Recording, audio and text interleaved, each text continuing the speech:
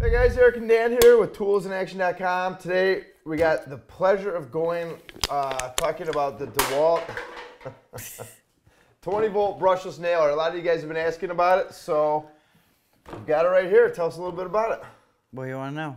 I want to know what you like about it, what you've used it on, what you built, how many, what you, you know, Well, much you- according to you, I don't know nothing about tools, so or English. or English.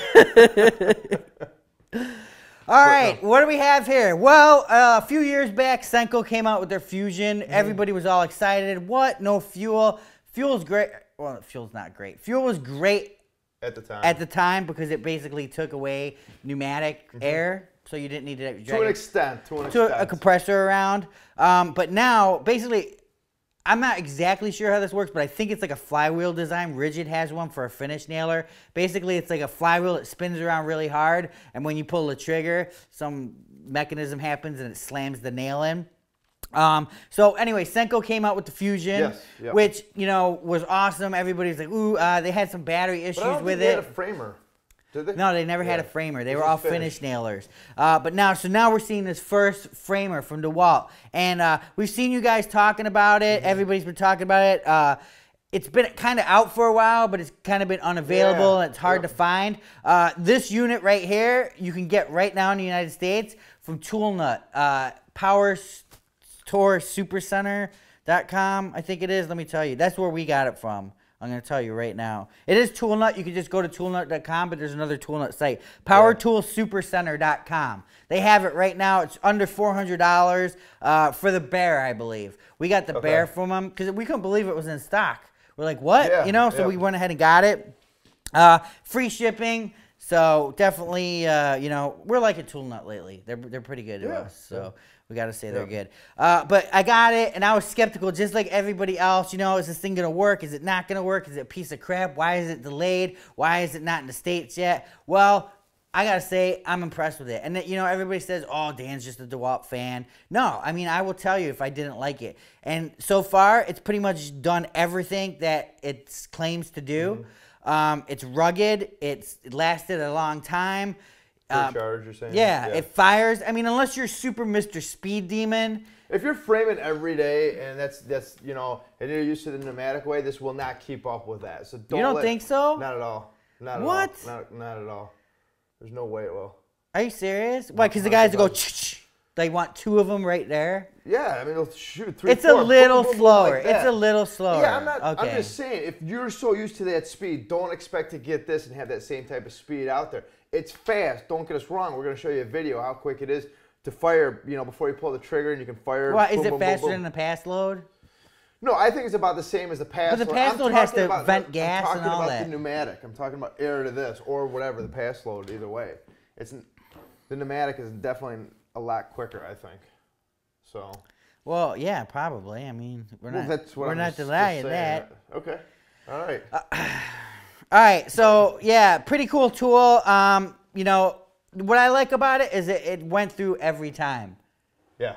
You know, there wasn't any, you know, where it it just wasn't inconsistent. I know with the Senco, the finish nailer, we were getting inconsistencies. We were. Sometimes it would drive them flush, and then sometimes they wouldn't drive flush. Mm-hmm. Uh, I didn't really like that. It turned me off of the tool, but this has depth adjustment right here on the top. It also comes with a little uh, plastic guard that goes on here to protect, uh, not, to not mar the work that you're framing. But if you're framing, you're gonna pretty much not worry about what you're marring. Yeah. It would. I, I mean, But I, wouldn't think, yeah, but it comes with that just in case. Uh, but simple dial here to uh, move up and down to adjust your depth, which is great. The slide right here uh, holds. Actually, I don't know. We'll go over how many of that holds in a second. Um, two modes on it: just regular uh, fire mode where you pull the trigger and it fires, and bump mode where you, the motor stays running and you can bump the gun to. Uh, Bump and sequential. Yeah. yeah, sequential.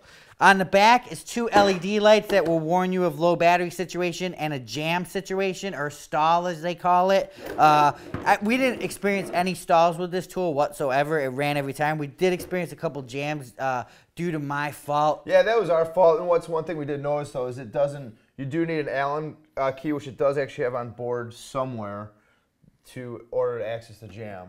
I What? well, go ahead, man. I was gonna get there. I was talking about that. Oh, I'm sorry, man. I don't want. No, to No, it's okay. It's okay. It's But okay. go ahead. Um, okay, let's reverse up a little bit. Back to the stall. This will clear your stall right here. It didn't. We didn't experience it at all. But like I said, we did get a couple jams because we were just going into uh, wood and there was other nails in there and it was hitting those and we were just causing chaos. Actually, it was the wrong uh, angle nail we had on there, but go ahead. Oh well, that too. I didn't Yeah. think. What angle was that? I think that was like a 35. I think this is 30 to 34 or something. Yeah, this is right here is 30 to 34, like Eric said. Uh, 0.113 inches to 0.131, 2.8 to 3.3 millimeter, and two inches to three and a half inch nails. Yeah. So, and it will take those three and a half inch nails and drive them. Oh yeah, it does a great job. I mean, job. every time it really does a good job of, of actual nailing. And the Uh, consistency, like you said, with in terms of the depth when you fire it. So that's a big thing. Right. Yeah. I mean, it's it's a reliable tool, and that's kind of what DeWalt's known for. They're known for the pros. They're known to just you know sometimes they might not be the most powerful in the category or anything like that, uh, but they're just known to be rugged, durable tools. Uh, the Allen key that Eric was talking about is right here. It just slides out. You getting bored? A little bit, but go ahead. Why? Because I'm talking about it. What do you want to talk about, Eric? Go ahead. No, no, no. I just no. I'm fascinated. I know you are. Uh, that does kind of suck. I hate tools because the tools always get lost. Even though it's there, it's a pain. It would just be nice to have some kind of thumb something. I don't know. Maybe they can't do that. Uh, a hook right here, plastic hook. Hook it on a rafter, whatever. What else? Brushless motor. Did you mention that? Uh, no, I didn't. But it has a brushless motor that's going to give you extended runtime, especially with the 3 or the 4.0 XR extended runtime packs. But overall, I mean, it's weird. You know, it's got the 20 volt grip. Yeah, it's got a nice grip, and you know what? Actually, I mean, it definitely is a little bit top heavy, but it's like uh, like any of the framers and all that. But it's just, I think it's got a nice feel to it. It does. I Let's- like it. Let's see what Word. DeWalt says about it. They said something about the brushless motor. uh, sequential operating mode we talked about. Easy access nose piece for the removal of jam nails. Okay, easy to access nose piece for the removal of jam nails. I don't think it's that easy to access. Not compared to ones that are toolless where you just flip it up. Yeah, sh- you know. I mean you can get in there with two two. you get in there. I mean, the, I, screws. We didn't get that many jams, like we said. The jams we get. Well, we shouldn't say we got any jams. The jams we did get were, were you know, they were our faults. Yeah, So That's true. Um, you know, it's made of an ABS plastic right here. It's probably made out of the Xylon or whatever they make their tools out of. That's the the Walt that tools are pretty tough. Uh, trigger lock we didn't talk about. So No. when you have the tool sitting down there, and it says top cap is impact resistant and easy to remove for troubleshooting. Oh, So- and that's another good thing that you pointed up too. Is like my I have the Paslode that I use. I have to uh, basically clean that every once in a while. I have to oil it, uh, take it apart, clean the filter, and do that. You do not with this system. The system's basically maintenance free.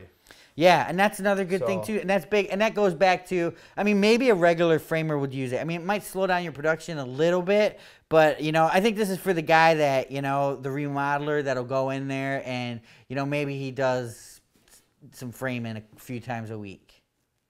You Yeah, know, I it might mean, not be yeah. his own thing. And another great thing about this thing being so small is it fits between studs. Uh, the length of it is only 13.75 inches. Weighs about seven and a half pounds, or how much?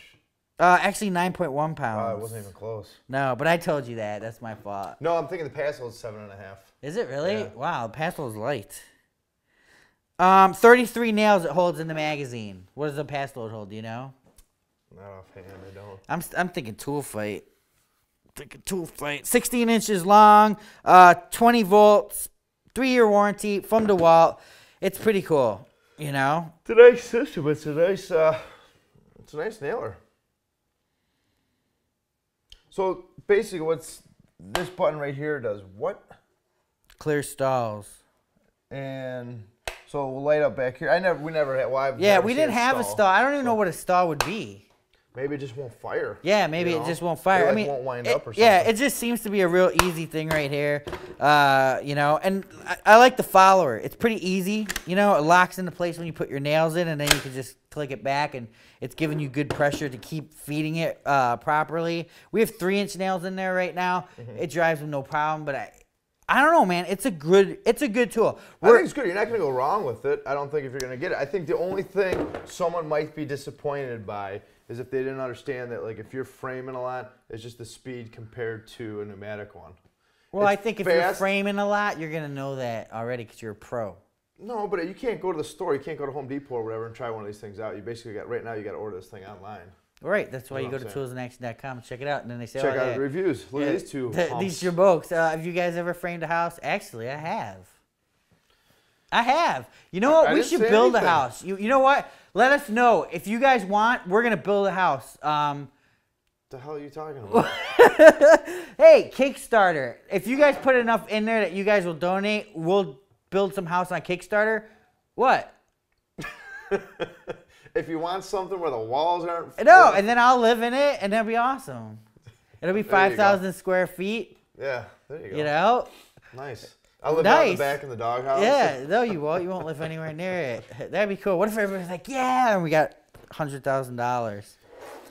Probably get a hundred thousand pesos. Yeah. Um, I don't know. It's a nice name. Oh, yeah. All the mysteries that surround this tool, and there is mysteries to it when it does seem like it gets released and it doesn't. People think, oh, it's got problems.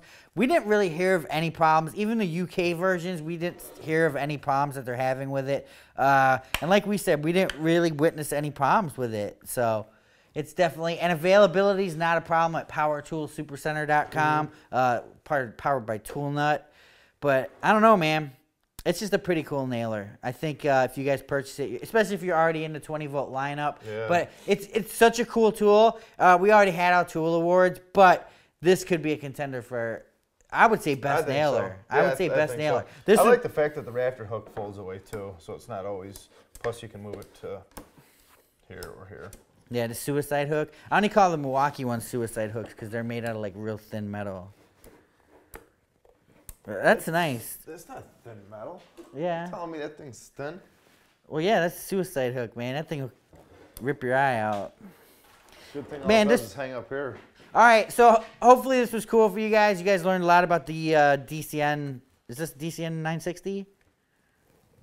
I think it is. DCN 960. Nice. All right, let's go check it out in action. All right.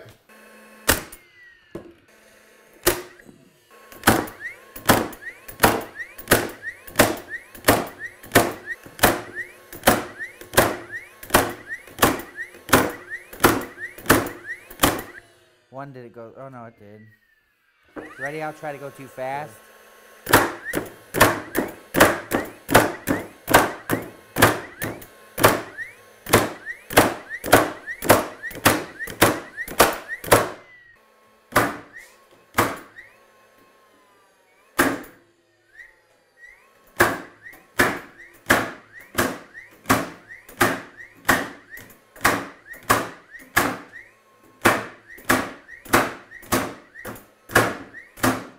Let bounce on the table. That was pretty good though. What do you think, Eric? Yeah, I told you, dude. I like this thing, man. No jams. That's probably one of the best nailers I've ever used. What's that? They, those are my tools. You keep them on the floor anyways. I don't want you to. Geez, I'd hate for you to look on a shelf or somewhere for the tool. I want you to be able to find the thing. So I like it, man. It's a nice nailer. You know, like I told you before, we were playing around with it yesterday and the day before. It's, it's nice. All right. It's got power. It's got power. It's just it's a good nailer. All right, cool. All oh, right. I didn't know you were recording.